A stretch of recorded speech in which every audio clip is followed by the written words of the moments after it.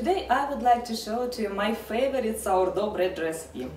I highly recommend this recipe for everyone who just starting their big sourdough journey. Um, I, I can firmly say that I never ever had failed with this recipe. Let's start! Right now I will be making two loaves of same bread. But in the description below this video I will put amount of ingredients for one loaf, so don't be confused.